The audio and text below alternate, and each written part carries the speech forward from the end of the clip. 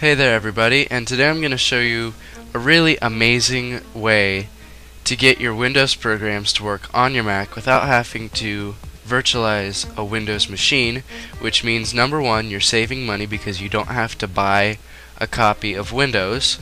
Number two, you're saving time because you can launch them while you're in OS X and you don't have to boot out to go into boot camp. You don't have to wait for uh, VMware or VirtualBox to start up, you can just boom, just go right to it. So, um, there isn't really much else to explain. The way that I'm doing this is through a program called Wine, which is well known in the Linux community for uh, virtualizing, well, not really, uh, I don't know how you would say it, but it runs Windows programs because it has the Windows framework and all that, and it's actually legal too and you don't have to pay for it at all. It's completely free. So, um, some people have made it so that it's available on Mac OS 10, and this person here, um, I don't know his name. It looks like it might be David David Baumgold. Yeah, that's it. Anyway, he created this amazing, amazing guide, which I followed yesterday and I installed Wine on my Mac Mini and only took about an hour. Most of that time was just downloading Wine and it works like amazingly. Now, one thing though, it does not have a graphical user interface, so everything that you do, it has to go through Terminal. So I'd recommend that you know a little bit about uh, about command line. Uh, oh, command line commands, I guess. And he actually has a link in here, how to use the command line.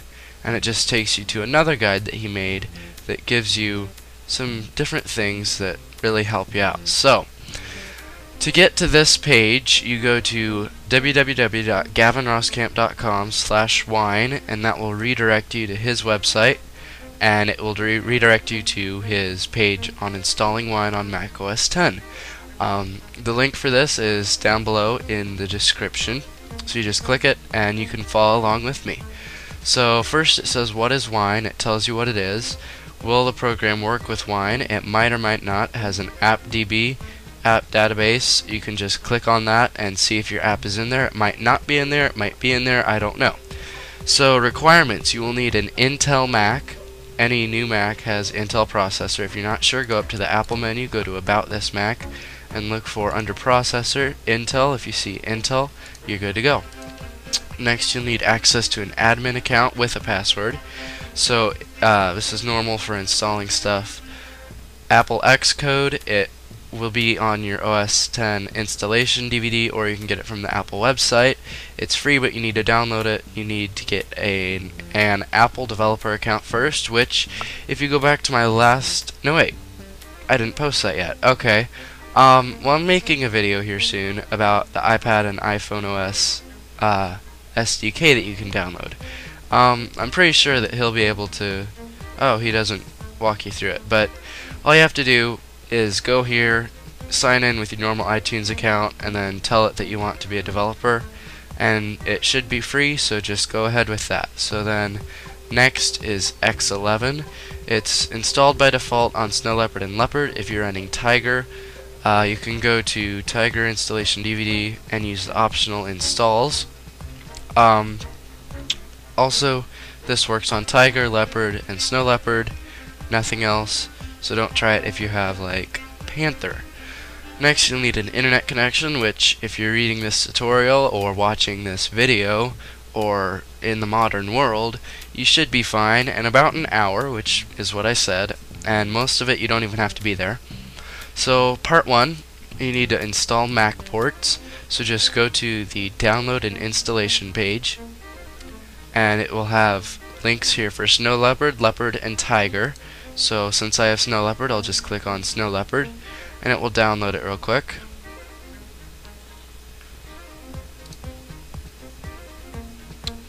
And once it gets done, you just double click on the Oh, you don't even have to double click. It will automatically start installing it. I already have it installed, but uh, just do that And then after you get done with that, you go back to the tutorial or the guide and then you go to configure MacPorts. Now you need to open up your terminal which can be found under applications and then under utilities.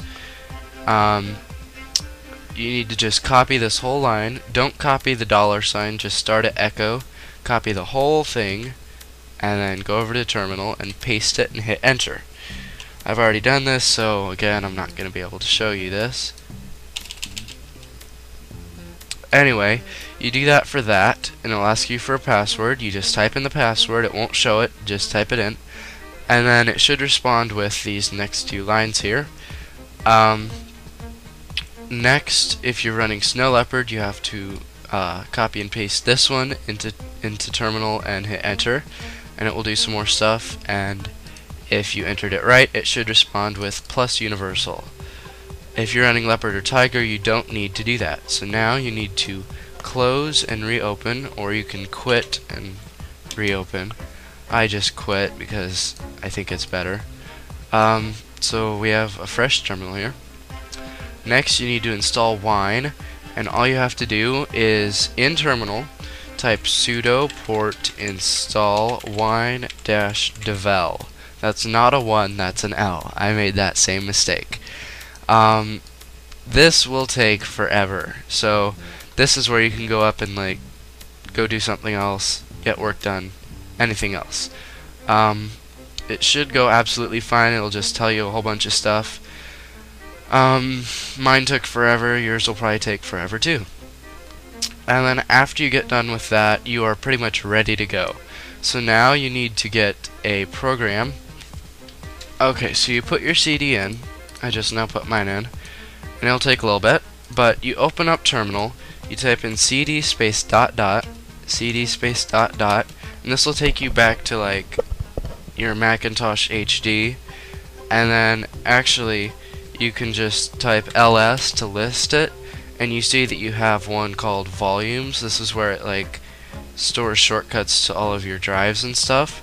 So you'd go cd space volumes, then you can go ls again.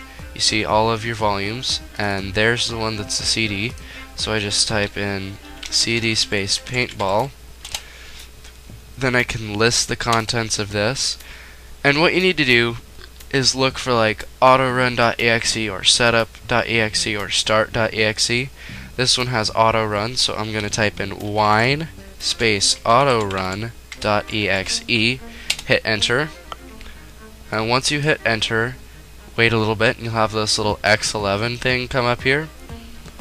Then you wait a little bit longer and you will see the auto run program like you would on a PC. I've already installed this, but you just install it, install it just like normal, and then you can play it from here. However, I'm going to show you the way to get to the actual files. Let me just check the time here. I'm going to have to cut this into two, so um, see the next video for the uh, how to run stuff, okay? So I'll see you in a bit.